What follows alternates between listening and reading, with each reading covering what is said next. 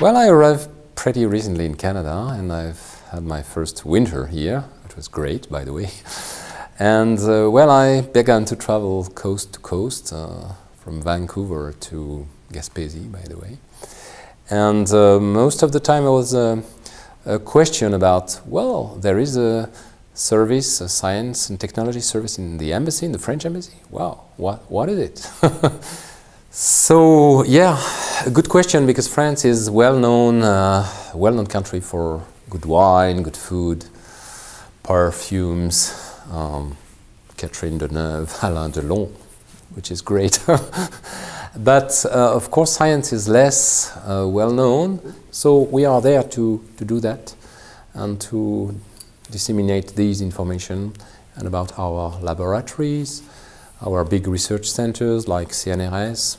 23,000 people are doing research in this big center, which is the first in Europe. It's just an example. Our universities, our grandes écoles.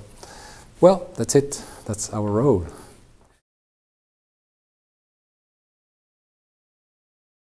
First of all, when you look at the ranking of uh, publication of Canada, Canadian research, the very first is in psychology, psychiatry and neuro, neuroscience, brain research.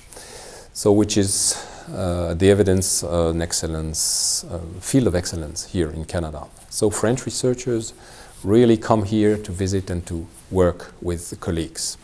So this is the first priority and we try to to support that. There is already um, a nice agreement with Quebec, which was, by the way, signed by our, our Prime Minister, François Fillon, two, two years ago on Alzheimer disease.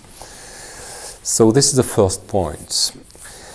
The second point in this very large country, Canada is of course um, a land of natural resources, mineral resources, petrol, oil sand, and so on. So this question is, of course, very interesting for scientists because of earth science. So this is also a very top-ranking field of, of uh, publication here. Very close to this domain, Arctic research, or how the climate is changing in Canada, is also uh, a second priority, or a first, I don't know. We have recently uh, settled in French uh, an observatory for Arctic research and we uh, decided to create in uh, Laval with the University of Laval and through this the network of ArcticNet, a new lab of uh, to observe how the climate is changing in Arctic. Takuvik, this is the name, which means in Inuit, if I'm right, observe.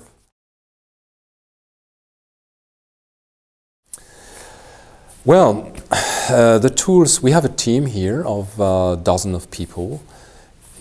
Vancouver, we have one attaché for science and technology. In Toronto, one again. In Montreal, there is a small team, four people with an attaché also.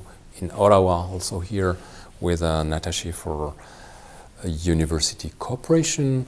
So all these people, we meet regularly, we speak regularly on the phone, they visit the country, they visit the university, the research centers, and we are there to, okay, to look at what projects are, um, are welcome in, in those centers, which French uh, colleagues are welcome also, and we just try to, to facilitate these contacts. We have a small budget, half a million dollars, let's say, for mobility, grants, fellowships for students.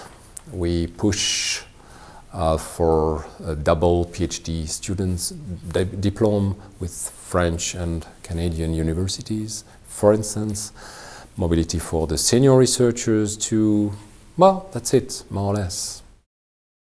Uh, so be very welcome on our website, web page, and please also visit our Facebook page, uh, since we have a new one, on which you can find the call for proposals, uh, everything what's up in our French and Canadian uh, opportunities, you're always welcome here in this nice embassy, in this nice building, in our offices in uh, Wilbrod, in Ottawa, but also visit our colleagues in Vancouver, Toronto, Montreal, and okay, welcome in France too. Bye bye.